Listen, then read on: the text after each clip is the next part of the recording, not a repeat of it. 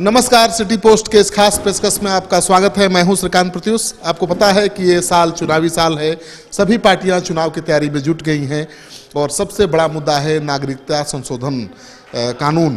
तो उसको लेकर एक तरफ़ बीजेपी की तरफ़ से जागरूकता अभियान चलाया जा रहा है कि इससे कोई नुकसान नहीं होने वाला है, किसी की नागरिकता छीनने वाली नहीं है। वहीं आरजेडी की तरफ़ से नागरिकता संशोधन कानून को लेकर भी अभियान चलाया जा रहा है और बताया जा रहा है कि किस तरह से देश के नागरिकों को तंग और तबाह करने की साजिश चल रही है। अभी मेरे साथ हैं जगदानंद जी, आरजेडी के प्रदेश अध्यक्ष इनसे बात करते हैं।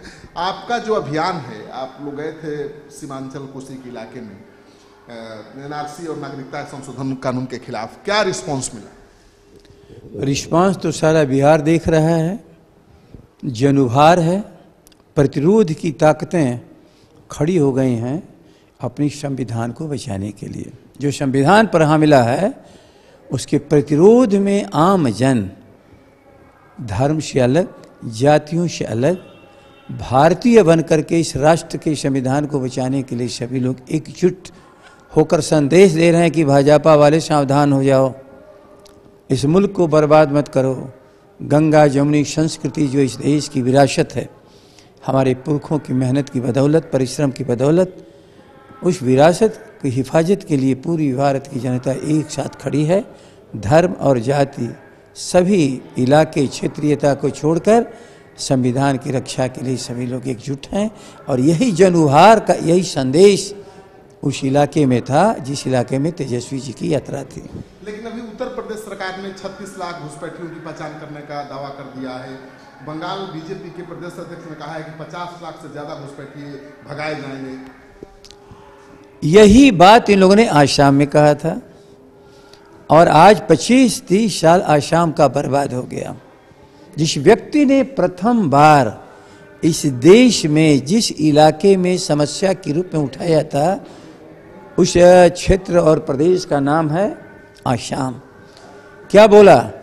मेरी जवानी खत्म हो गई एक व्यर्थ के सवाल पर। और वही व्यर्थ के सवाल को अब देश में लागू करने वाले समझ लें कि देश को कहाँ ले जाना चाहते हैं? 130 करोड़ आबादी के भीतर आप घुसपैठियों की पहचान करना चाहते हैं? अभी आप ही ने कहा कि हम लोगों ने 2200 से अधिक पाकिस्तान से आए हुए लोगों को नागरिकता दी। किसको दिया, किसको नहीं दिया, ये तो भारत की जनता ने सवाल नहीं उठाया। कौन रोक रहा था आपको? मतलब कोई न कोई कानून इस देश में था, जिस कानून के मुताबिक लोगों को नागरिकता दी जाती थी। क्या प्रश्न खड़ा था इस देश के सामने, जिसकी समस्या का समाधान के लिए आप आगे आए हो? देश में कानून था। ये भारत की सरकार का डिस्क्रिशन है कि किसको वह नागरिकता दे या नहीं दे। कभी इस पर प्रश्न तो देश का किसी व्यक्ति ने नहीं खड़ा किया। स्वयं आप ही प्रश्न को खड़ा किए हो, जो प्रश्न था ही नहीं देश में, और हल करने का वो रास्ता बना रहे हो जिसे देश बर्बादी के कगार पर चला जाएगा। कांग्रेसी नेताओं के बयान सोशल मीडिया में वायरल हो रहे हैं जिसमें कहा जा रहा है कह रहे हैं दावा कांग्रेसी नेता कर रहे हैं कि हमने एनआरसी को लागू करने के लिए 500 करोड़ का फंड का प्रावधान किया बीजेपी ने कुछ नहीं किया केवल पाँच करोड़ दिया ऐसे मतलब एनआरसी के पक्ष में कांग्रेसी दिख रहे हैं पहले के बयान में। मैं नहीं जानता हूँ कि कांग्रेस के लोग क्या कहते हैं। भाजपा जो आज कर रही है देश के सामने है। हो सकता है कागज़ पत्थर में कहीं पर ये लोग कुछ कर रहे होंगे, हम सबों को जानकारी नहीं है। नहीं यह देश के सामने समस्या बन करके भी कभी यह विषय नहीं आया। अभी भी कहा जा रहा है, किसने आपको रोका है कि देश की जनगणना आप मत करावें जनगणना तो हो रहा है, कोई आज नहीं, सैकड़ों साल से। जनगणना को किसने रोका? आप हमेशा मतदाता सूची भी बनाते हो। अनेकों बार लोगों के बीच में आप जाते हो, घरों में जाते हो, लोगों से बात करते हो, ग्रामीण लोगों से, वहाँ के जिम्मेवार लोगों से आप वार्ता करके ही आप जनगणना या मतदाता सूची बनाते हो। मैं नहीं समझता हूँ कि क्या ऐसी सूचियों में किसी विदेशी का नाम दर्ज होता है क्या?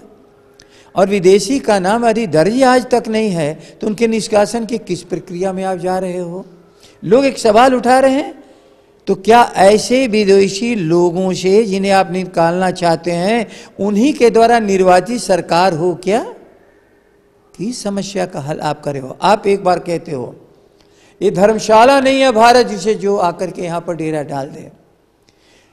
लेकिन श्रीमान मोदी, प्रधानमंत्री जी, ये कसाई खाना भी नहीं है जिसका चाहो आप गर्दन पकड़ के काट दो। पहचानो। लेकिन पहचान के लिए आप 130 करोड़ लोगों को आप खड़ा करोगे लाइन में? उनके घरों में जाकर के उनसे स्वयं उनके नहीं, उनके खानदान के व्यक्ति भी भारतीय थे, ये पूछोगे? और ये सवाल सबके सामने है। 40 से 45 करोड़ जनता के पास कोई दस्तावेज़ नहीं है। सिवा राशन कार्ड पाता होगा तो आधार कार्ड भी हो सकता है, बना दिया हो आप। लेकिन आप जो ही मानोगे भूमि संबंधी दस्तावेज़, जिसके आधार पर तय करोगे कि आपके खानदान का पुरखा भारतीय था, इसलिए आप भारतीय हैं, वो नहीं है किसी के पास। 45 करोड़ लोगों के पास नहीं है। क्या करोगे आप उनका? सरकार कर रही है कि आप लोग अफवाह फैला रहे हैं भ्रम फैला रहे हैं देश में अनरेस्ट पैदा कर रहे हैं। यदि हम भ्रम फैला रहे हैं थोड़ी देर के लिए तो मौका किसने दिया? तुम सफ़ाई दो। सबसे सवाल था ये सवाल ही नहीं था। न भ्रम के रूप में न सफ़ाई के रूप भाई तो दे रहे हैं कि हम नागरिकता देने के लिए नागरिकता कानून है छीनने के लिए नहीं। वही वही तो सबसे बड़ा सवाल है। यदि नागरिकता देने के लिए कानून बना रहे हो तो जो आता उसको देते हैं। ख्याल कर लेना, हम नागरिकता मांगेंगे तो देना या नहीं देना? आप ही कह रहे हो, अनेकों लोगों को दिया जा रहा है और यह सन सैतालीस से दिया जा रहा है। किसने रोका? कभी रोका? इस पर किसी ने सवाल उठाया, क्या हमें नागरिकता आप नहीं दे रहे हैं? भारत के कानून और संविधान के मुताबिक ये प्रश्न था भारत के सामने।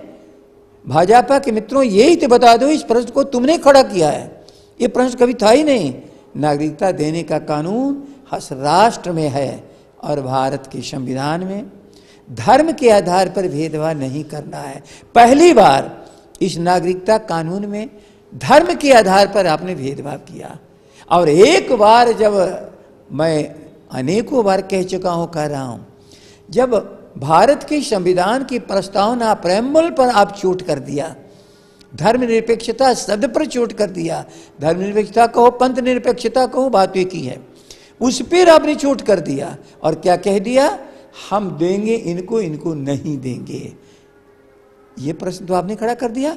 क्यों संविधान के बाहर जाकर के आप काम किया? संविधान बचाने के लिए आज भारत की जनता खड़ी है। कल तो धर्म के आधार पर एक देश को बांट भी दोगे, फिर एक राष्ट्र, दो राष्ट्र बना डालोगे। आप हो तो आखिर सावरकर की संतान, आप हो तो सावरकर को ही वीर मानने वाले लोग, आप हो तो नाथूराम गौडसे की औलाद, जिसने महात्मा गांधी की हत्या की और हत्या का कारण क्या था? यही हिंदू और मुसलमान। फिर आपने हिंदू मुसलमान शब्द को गढ़ करके इस मुल्क को आपने बेचैन कर दिया।